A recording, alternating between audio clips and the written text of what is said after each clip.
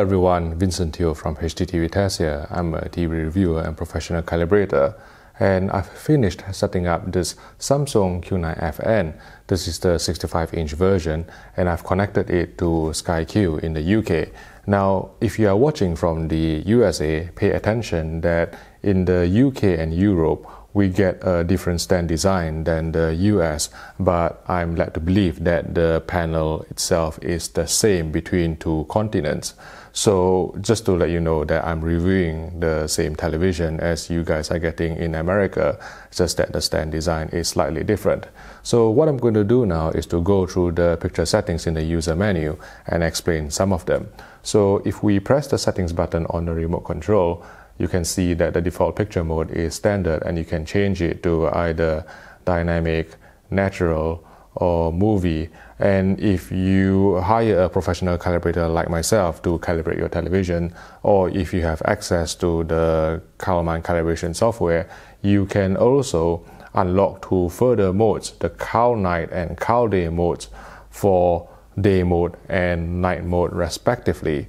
So what I will be doing is to go into the movie mode and explain the settings in there because most of the user controls are actually available in movie mode compared with let's say dynamic standard or natural mode where some of the settings will be locked out. So under the picture mode, you can see picture size settings. This just let you set the aspect ratio of the content on screen. And then if we go into picture settings, backlight determines the light output of the television. So if you have a higher backlight, the screen brightness will increase, whereas if you have a lower backlight, the screen brightness will decrease. And it is critical to actually arrive at a suitable backlight setting for your viewing environment because if you are watching in an environment in a room with brighter ambient light, then you will need higher light output from the TV screen to compensate. Otherwise, the whole picture will look too dark and the shadow detail will get lost. Likewise, in a really dim room, you don't really want your backlight to go too high. It will get quite uncomfortable to watch. And also, too high a backlight may exaggerate the backlight uniformity issues such as clouding and flash lighting in a dimly lit room. So it is critical to get the backlight setting correct. And what us professional calibrators do is to usually assess the light conditions in your room, ask you how you would watch your TV with the lights on or off or with just bias lighting or during daytime. And then we will use our meter to measure the screen and decide on the correct light output for a better viewing experience. So I'll set it back to the default of 20 in movie mode and brightness. Now, traditionally, the brightness control on other TV from other manufacturers control the digital black level in that if you actually raise the brightness too high, it will just actually expose all the below black data. Whereas if you actually lower the brightness too much, then you will lose shadow detail.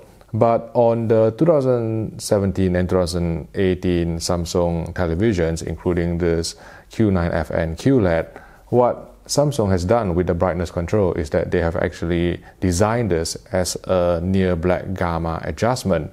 So by default, this TV and all 2017 and 2018 Samsung televisions, they clip blacker than black data. So if you actually increase the brightness control, what it will merely do is to brighten near black gamma, whereas if you actually darken, if you, if you actually decrease the brightness control, you will darken the near black gamma. I'll just set it back to zero, which is the default in movie mode, and we go to contrast. Now contrast decides the digital white level and the correct value is the one that lets you see some whiter than white detail because there's still some specular highlights even in SDR content. Sharpness is basically edge enhancement. Color basically boosts the color saturation and also luminance globally for all the colors. So if you want to target a specific color, let's say red, you shouldn't use this control because this control will affect red, green, and blue, cyan, magenta, yellow, and all the colors in between. Tint basically rotates the secondary colors to adjust the hue. Apply picture settings, you can choose to implement whatever picture adjustments that you have made to all the sources. If you choose all sources here, I'll leave it on current source which is not the default by the way, but I just wanted to reset this to demonstrate things for you. Digital Clean View is Samsung's noise reduction algorithm, and I think on the 2018 version, I've just briefly checked with the Samsung Q9 FN, it actually performs some decontouring similar to the smooth gradation feature on Sony TVs and also the impact noise reduction on the 2018 LG OLEDs as well. So I'll be checking this out later on in my review. Auto Motion Plus settings. This is Samsung's motion compensated frame interpolation and also black frame insertion technologies. Now, the default, I'm not entirely sure what the default is, but it is set to custom with blur reduction set to 10 and jitter reduction set to 3. Now, blur reduction actually affects high frame rate content, let's say around 50 Hz or 60 Hz, whereas jitter reduction mainly affects the lower frame rate content, such as 24 Hz or 30 Hz. And depending on the content and the outcome you want to achieve, you will toggle this independently of each other. LED clear motion is Samsung's black frame insertion technology. If I actually switch it on, you can see that the screen will dim and maybe you can see some flicker from the camera. Now the flicker is going to be much more exaggerated by the camera because I'm using a different frame rate that is not in sync with the rate at which the black frames are being inserted. So I'll just switch it off. But when I do the review, I will be assessing the efficacy of black frame insertion on the Samsung Q9FN QLED television. Local dimming, now since 2017, again, Samsung doesn't really allow local dimming to be switched off. So there are three levels of low, standard, and high. And this Samsung Q9FN is a full array local dimming or FALD LED LCD. And presumably the different local dimming settings control how the individual zones will react to the different contents on screen in terms of their algorithm. I'll set it back to standard, which is the default. And contrast enhancer is dynamic contrast, Samsung's version of dynamic contrast. And there are two settings here, low and high. Generally, if you use this, what you will be getting is a punchier picture, but you will lose some shadow detail and highlight detail as well because what the TV is doing is to apply a manipulated gamma curve to try and create a punchier picture, but you will sacrifice image fidelity, shadow detail, and highlight detail as well. So I'll leave this off, and if I go into HDR plus mode, if I switch this on for SDR content, and this is an SDR content from SkyQ, it will be applying an SDR to uh, HDR conversion, trying to create a HDR like picture. And you can see that the image on screen has brightened up considerably and maybe may look blown out to the camera. So I'll switch it off. Generally, I don't apply HDR plus mode on SDR content, but there may be an argument for applying it in for HDR material because there are some rumors floating around that HDR Plus mode actually engages Samsung's version of dynamic tone mapping, if it's even available, on the Q9FN, but I'll be doing some further testing to verify that. Film mode, it is disabled and gray out now, but that is because the SkyQ feed coming through to the television is progressive. It is 2160p. But if you feed a 1080i signal, any interlaced signal in fact, then film mode will be available for you to decide on how aggressive the film mode detection is on this television. Color tone, this is Samsung's nomenclature for grayscale or color temperature preset. And there are various presets here ranging from warm to warm 1, standard to cool. And with each step up, you'll just get a bluer color temperature. I'll go back to warm 2, which is the default. In movie mode, white balance allows professional calibrators like myself to calibrate the grayscale to achieve the same standard that is used within the film and broadcast industry. Now, the film and broadcast industry uses a white point or D65. So, if let's say you calibrate this TV using these white balance controls, then what you will be doing is to try and align your TV to what the colorists actually see on their broadcast monitor, and so you'll be getting the most authentic viewing experience. Now, under Samsung's white balance controls, there are the two-point system, and I'll explain this in the first instance. There are six controls here. R gain stands for red gain, green gain, blue gain, red offset, green offset, blue offset. The gain controls affect the brighter portion of the image predominantly, whereas the offset controls affect the darker portion of the picture in terms of the grayscale adjustment. Now, if we go out from here, Samsung has also provided us with 20 point white balance controls, which professional calibrators like myself can use to individually calibrate every single 5% interval ranging from 5% all the way to 100%. Now, the thing with Samsung's 2017 and 2018 televisions is that local dimming cannot be switched off. And when you summon the menu on screen, it will inevitably affect the readings from the meter. So the best solution is actually by calibrating this television using portrait displays, CalMan software. They have been partnering with Samsung to provide direct display control and also auto calibration functionality. What this does is that if I, let's say, use CalMan to calibrate this TV with the appropriate software, CalMan Ultimate, maybe the latest version, and with the correct cables, then I will be able to make the adjustments directly from my laptop without having to access and summon this user menu. So that way, the readings on screen will be consistent and won't be affected by the menus or slider bars appearing on screen right? So if we get out from here, then the next menu item is gamma.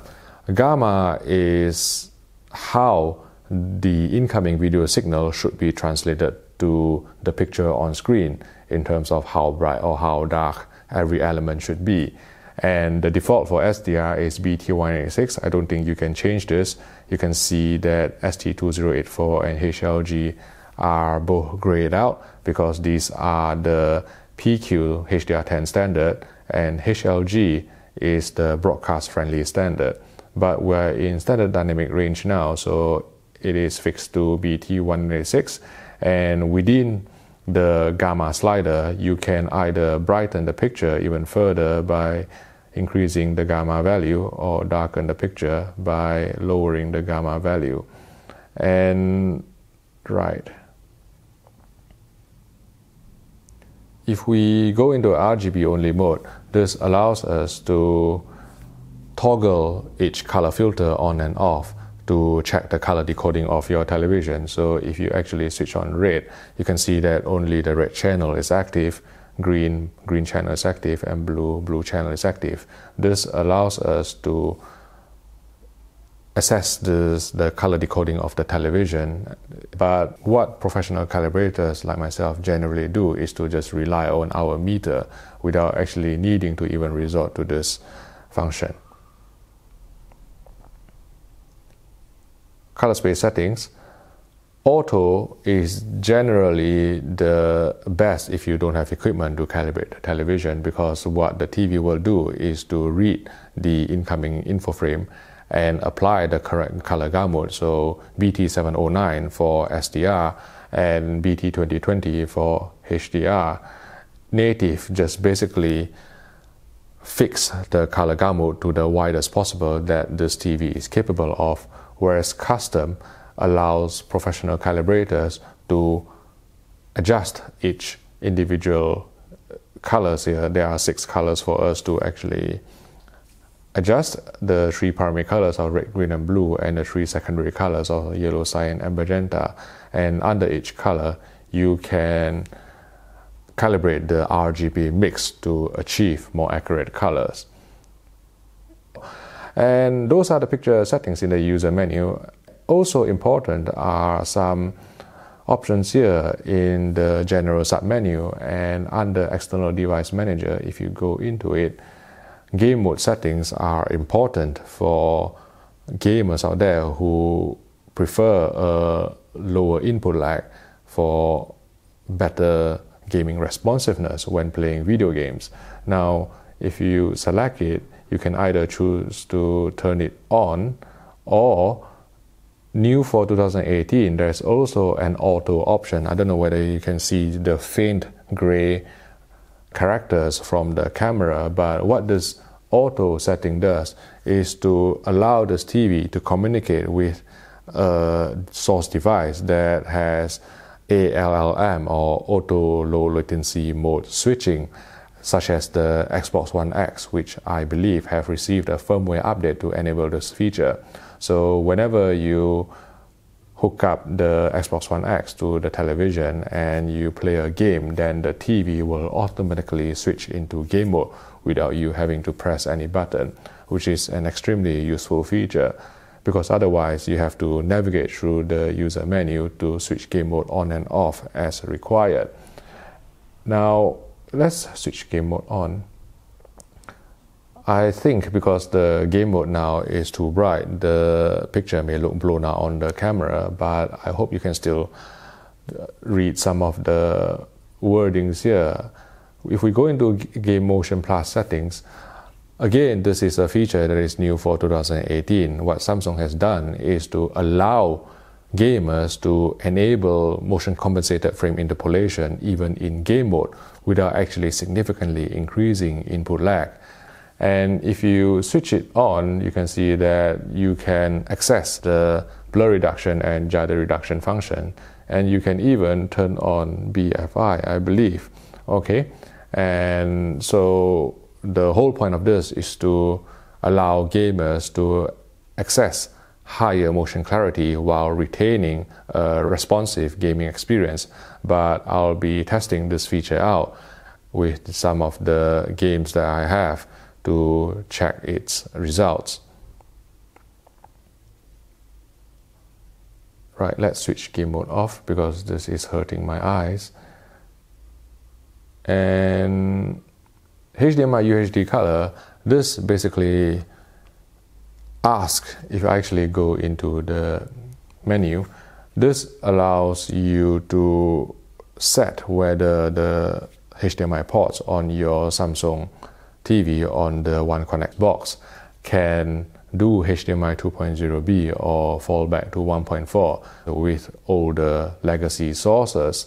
Now, I think on this TV, the TV will recognize UHD content and switch it on automatically, and a message will come up prompting you telling you that it has actually done that. So I don't think you need to access this menu that much unless you're not really getting a picture on screen, in which case you probably need to toggle this on and off.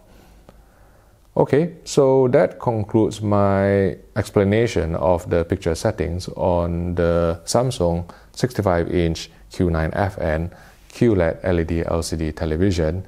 I'll be spending the next couple of weeks testing this television. So if you have any questions about this TV or if there's anything in particular that you want us to check, please leave a comment in the YouTube section below. Thank you for watching and I'll see you in the next video.